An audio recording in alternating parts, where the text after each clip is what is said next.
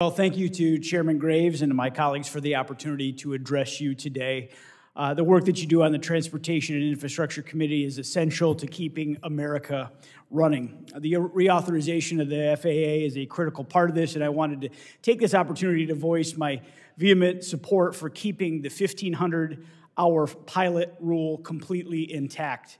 Uh, this mandatory training requirement was put in place following the crash of Flight 3407 that happened in my district in uh, suburban Buffalo, in the town of Clarence, New York. Uh, all 49 passengers on board, in addition to four crew members and a resident of the home at the site of the crash, were killed. We can never get back those lost souls, but we must do everything in our power to prevent another tragedy.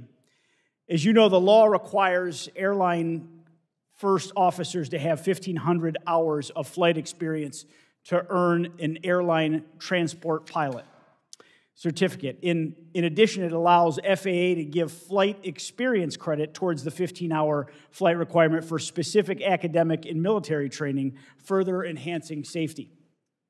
Now, since these training requirements were implemented, there hasn't been a single American commercial airline crash, and we want to keep it that way. I'm here today because there is a movement among some to make changes to these requirements, and it must be said unequivocally that no business decision should ever come before public safety, period.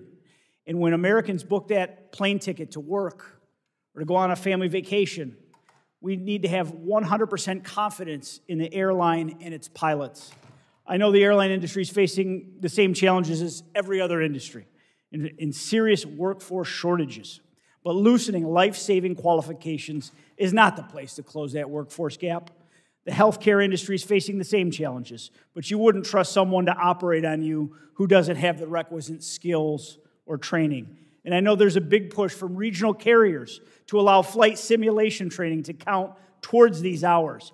It's just not the same as real life in the air flights where you know your safety and the safety of everyone on board is dependent on the decisions you make. There's no way to truly simulate how your mind and body responds to in the air challenges. We all remember the shocking and heroic story of pilot Sully Sullenberger. He landed U.S. Airways flight on the Hudson River after bird strikes took out both engines. All 155 passengers were saved and survived. They called it the miracle on Hudson, but it was not, it was much more than a miracle. It was because Sully was an expertly experienced pilot who knew how to make difficult decisions in the case of an emergency, and his training took over to bring everyone to the ground safely.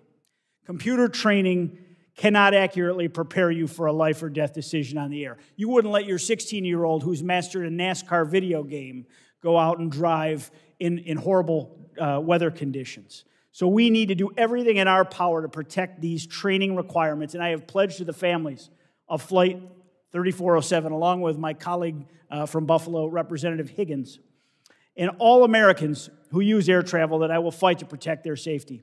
This is a bipartisan issue, and I'm proud to work with my colleagues across the aisle to ensure that these training hours remain in place as is. We owe it to the victims to do everything in our power to these to the airlines large and small and owe it to their customers who are entrusting us with their lives. So thank you very much for your time and I yield back.